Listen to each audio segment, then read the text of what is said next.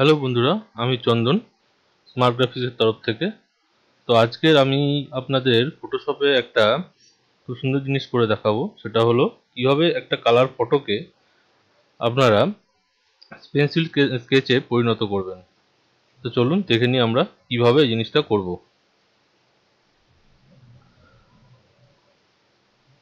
প্রথমে আমি এই ফটোটাকে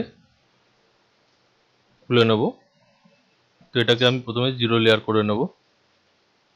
তারপরে কি করতে হবে? তারপরে ইমেজ থেকে গিয়ে আপনি এটাকে ইমেজ সাইজটাকে এখানে রেজলিউশন সেভেন্টি টু আছে, এটাকে আপনি একশো পঞ্চাশ পার পিক্সেল ইঞ্চ করে নেবেন।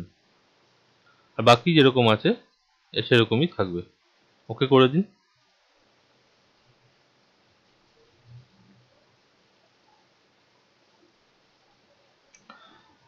তো আমাদের কাছে পিকচারটা চলে এলো। এবার কি করতে হবে? এই জিরো লেয়ারে গিয়ে কন্ট্রোল জে করে একটা কপি করতে হবে। তারপর কি করতে হবে? উপরের এই লেয়ারটাকে অ্যাডজাস্টমেন্ট লেয়ারে গিয়ে হিউ স্যাচুয়েশানে ক্লিক করতে হবে। এখানে স্যাচুয়েশানের যে অপশানটা রয়েছে, সেখানটা সেই অপশানটাকে মাইনাস হান্ড্রেড করে দিতে হবে। ওকে তারপর এই নিচের ছবিতে এসে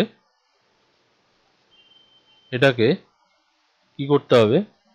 আমরা এটাকে করে দেব কালার ডজ ওকে তারপরে কি করতে হবে? এটাকে কন্ট্রোল আই চেপে আমরা ইনভার্ট সিলেকশন করব। ওকে তো এখানে দেখতে পাচ্ছেন মোটামুটি স্ক্রিনটা সাদাই হয়ে গেছে। তো এটাকে আবার যদি আমরা ছবিটাকে মোটামুটি ভিজিবল করতে চাই, তাহলে কি করতে হবে?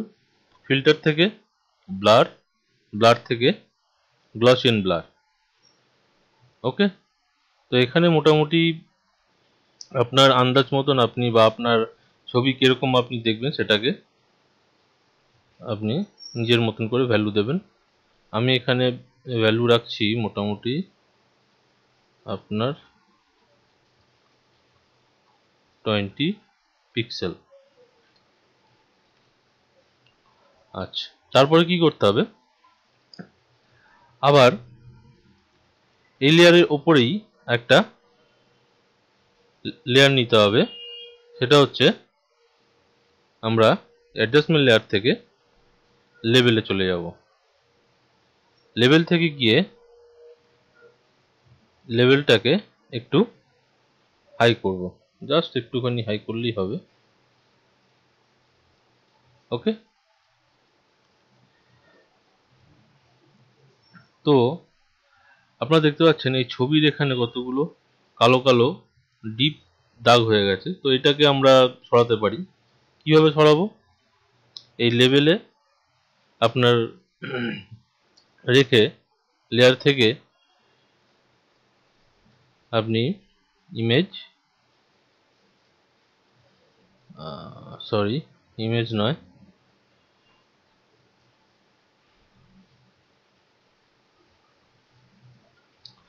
ব্রাশ টুল নিতে হবে। ব্রাশ টুল নিয়ে ব্রাশ সাইজটাকে এখানে বাড়িয়ে ফোর হান্ড্রেড করে দিতে হবে। আর হার্ডনেসটাকে আপনি কমিয়ে রাখবেন। আর এখানে অপাসিটিটাকে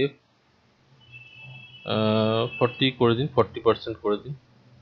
ওকে তারপর যেখানে কালো কালো যে ডিপ দাগগুলো রয়েছে, সেখানে গিয়ে প্রেস করুন। আর অবশ্যই মনে রাখবেন, এই যে আপনার ফোরগ্রাউন্ড ব্যাকগ্রাউন্ড কালারটা রয়েছে, এখানে কালার ব্যাকগ্রাউন্ডটা যাতে ব্ল্যাক থাকে। আপনারা দেখতেই পাচ্ছেন কীরকম কালারটা এখানে হালকা হয়ে যাচ্ছে। তো এরকমভাবেই আপনারা করার চেষ্টা করবেন। ভীষণ ইজি যে কোনো কালার ফটোকে আপনারা আপনারা এরকম পেন্সিল কেচে পরিণত করতে পারেন। ভীষণ ইজি